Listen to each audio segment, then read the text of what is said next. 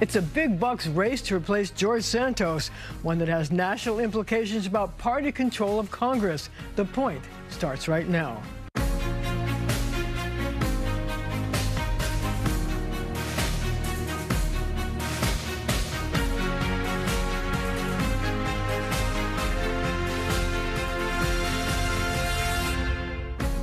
Democrat Tom Suozzi wants his old congressional seat back, but now he's bucking a red wave on Long Island. He's here.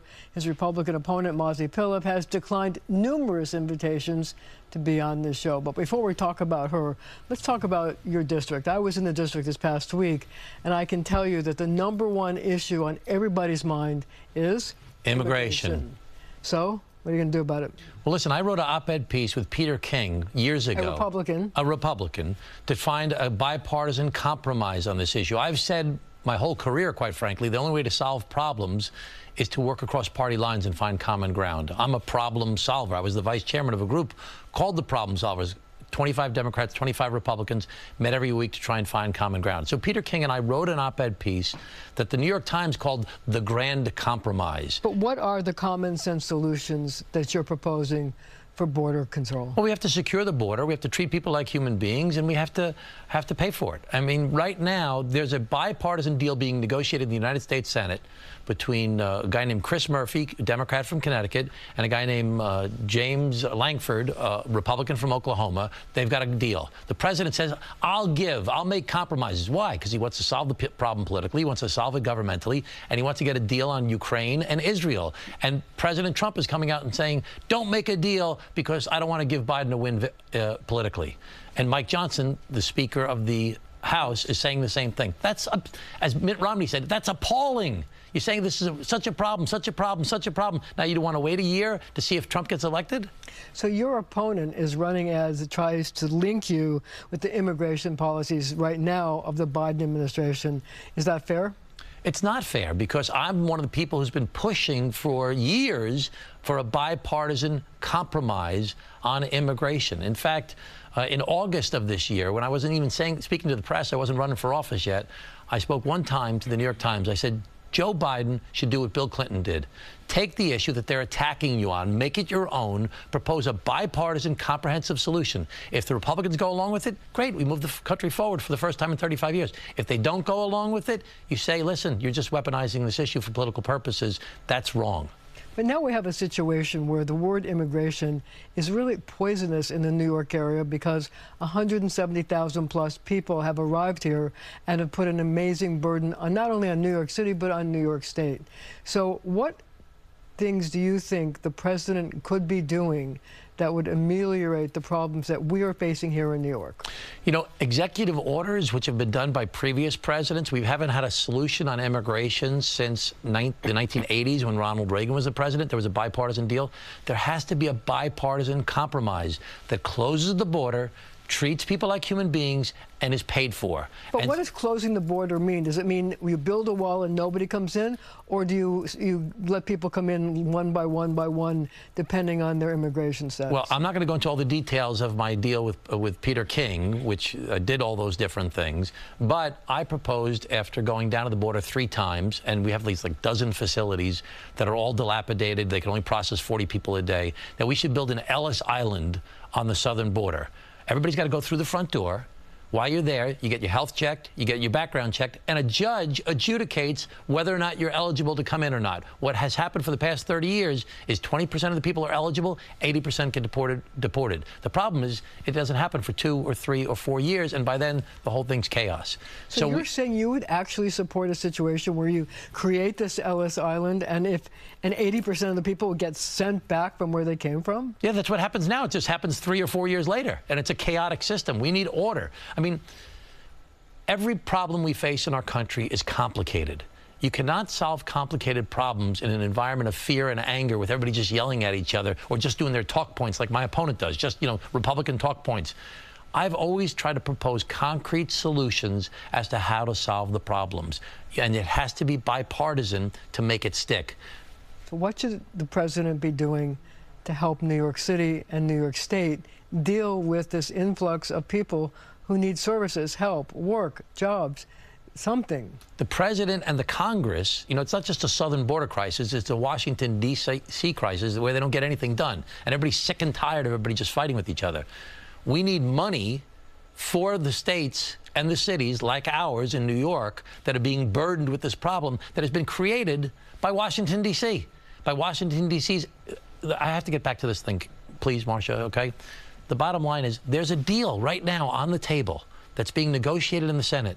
The president is willing to make a lot of concessions, like ways they've never. Yeah, but the before. House isn't going along with this. So but what's that's the point? The, then you have to hold the House accountable. That's how politics is supposed to work. If you get elected, that's what you're going to have to do. And I'm happy to do that because that's what that's how that's the only way government can work. But so you're telling me that your opponent, Mazi Pilip, supports not you know not coming up with a compromise. Right. I'm bipartisan. She's just doing Republican talk points. And these talk points by the Republicans and the Democrats don't get us anywhere. We have to find compromise to solve the problems and fix. People are sick of all these problems. They want us to solve the problems. I'm a problem solver. She's a problem contributor.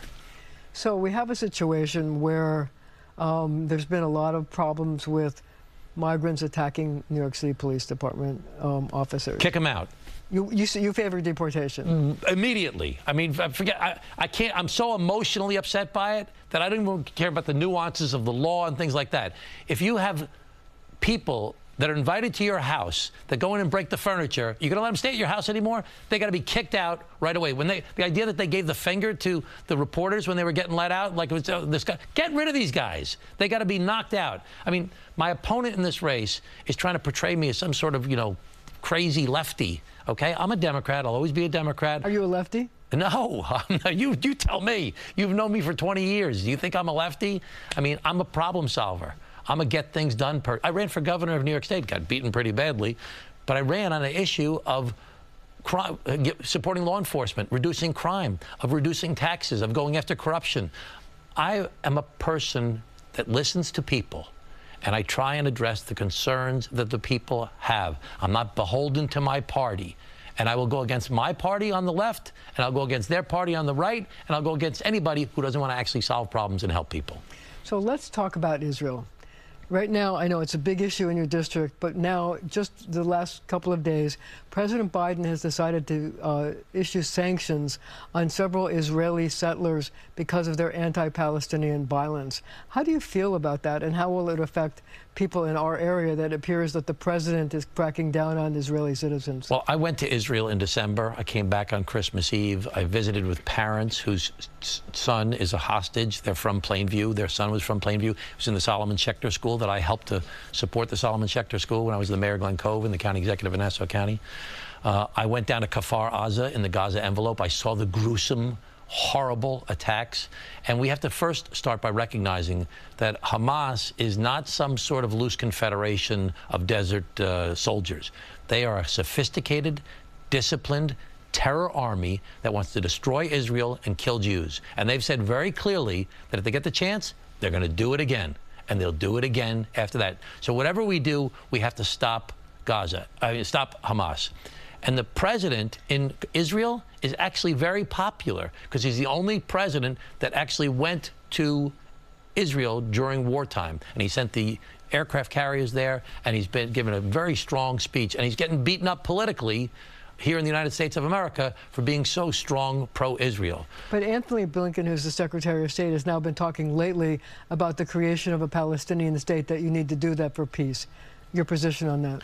My position is that I'd love to have a two-state solution someday. It would be a great dream come true. It was ex actually explained to me the first time I went to Israel in 2002 when I met with Shimon Peres, and he explained to me his vision for his two-state solution. Now, this is 22 years ago. We, that should be the dream, is that there is a real government for the Palestinians that picks up the garbage and does the sewer and does the water and educates their kids without all this hateful rhetoric that they get in schools now. But everybody's terrified of that idea. And I'd be terrified too if somebody said to me, oh, you know, we're going to make peace with Osama bin Laden. He just wants to live in Staten Island. Don't worry, you can trust him. I wouldn't like that either. So right now, that can't happen. But the president and others are trying to negotiate a deal that says, let's get the Saudi Saudis, let's get other Arab Sunni states that don't like Iran to work together for a post-war world that actually addresses this. Well, we're going to have to leave it right there for now, but our conversation continues right after the show on our streaming channel, CBS News New York.